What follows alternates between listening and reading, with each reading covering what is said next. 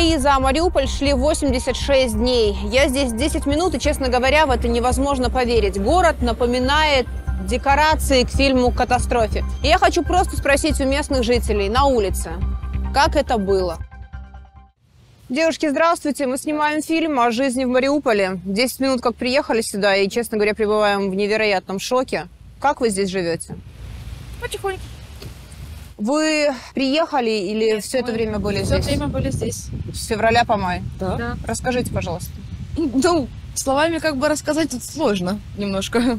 Где Я вы даже все это время находились? В подвале. В Украине говорили, что проводится эвакуация.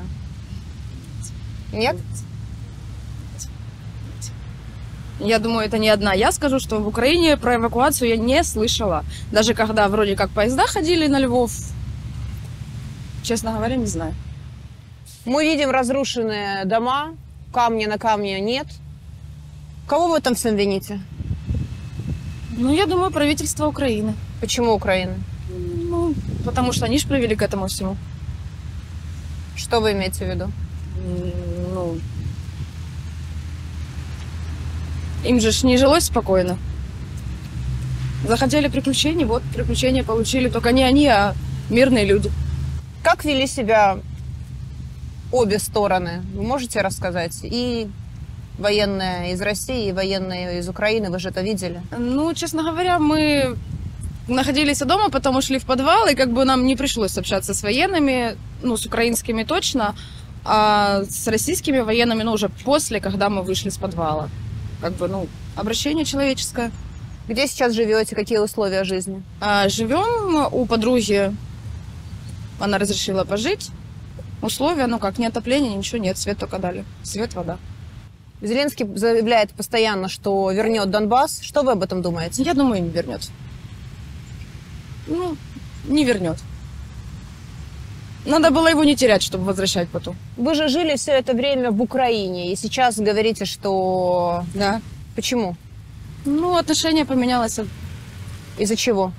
Ну, я не считаю нормальным, чтобы обстреливать мирных жителей В разгар прям боевых действий у нас приходили люди, которые находились в многоэтажках на Кирова вот здесь.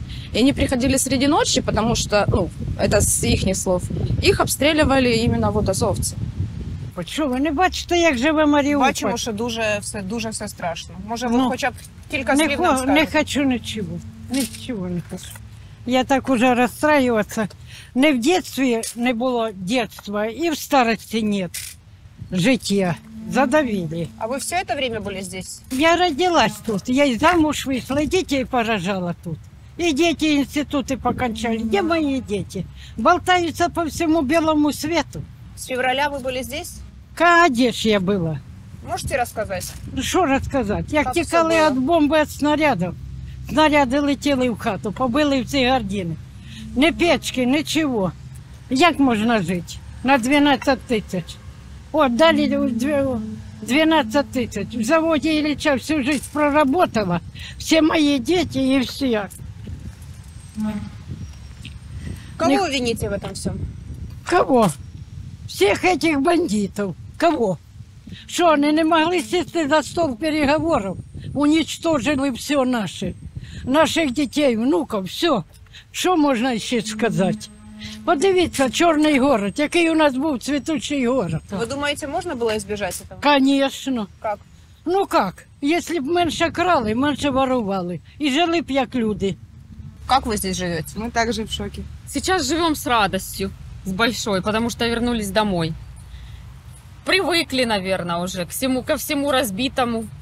Жили тоже с детками в подвале, все как, как и все, в принципе. Дома нам не ремонтируют пока, ждем, не знаю, надеемся. Расскажите, как вы это пережили. Так, было очень страшно. Естественно, взрывы, выстрелы. Кого вы вините в этом? Ну, наверное, Украину, а кого еще? Почему Украину? Ну, потому что они бомбили и по своим, и знали, что будет. Ни- никто ничего не предупредил никого. Что вы тогда чувствовали? ну, что мы чувствуем? Что мы не защищены, в первую очередь. Бросили и все. Да. А произвол. Самое страшное было, что по нас, ну, по всем стреляли, По мирным да, украинцы, по домам, где находились детки в подвалах, вот, в многоэтажных домах. Просто сидели в подвале, там и рожавшие были в этот момент. Твари, мрази, закрой рот, вот такое было. Вот у меня кума, кумы мама принимала роды у девочки. Они кричали, мразь, заткнись, не выпускали деток ни чая вот на костре, под- вот на улице Артемовна здесь, совсем рядом, в подвалах. А ну, вы уверены, что было. это была Украина? Ну да, по форме была Украина, они же там изначально занимали оборону. Под горящим домом сидели люди в подвале. А бомбил кто?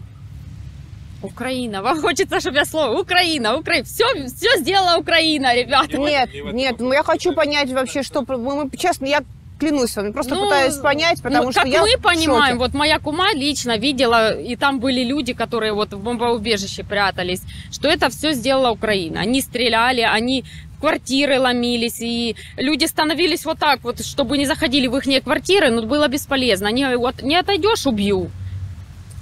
Ужасные вещи вы рассказываете. Эвакуироваться можно было? Была организована Можно, но н- эвакуация? э, Под это было, обстрелами да, это опасно нереально очень. было сделать. Надо было бежать, бог знает куда, и к метро, это вообще другой конец города. Люди пешком, конечно, шли, слезно останавливали машины, на машины падали.